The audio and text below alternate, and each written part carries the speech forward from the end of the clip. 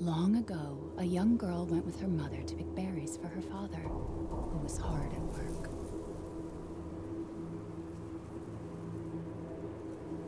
But the forest greeted them with a dark, cold silence.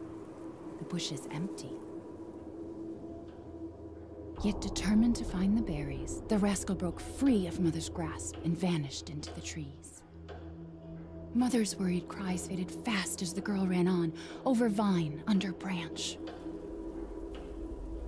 and into the forest deep. What is it with that creepy story? It's just a local tale. You're really into that stuff? Quit being so paranoid.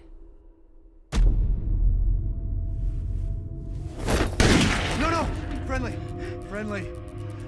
Who are you? Who sent you? What are? They're coming. Who is?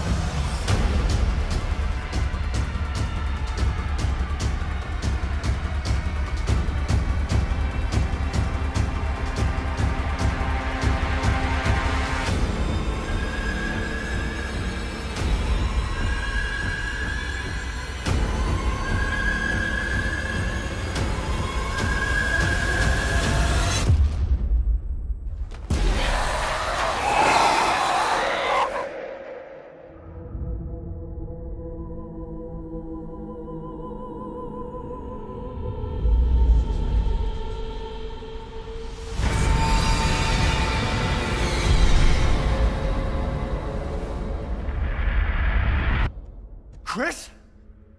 Sorry, Ethan.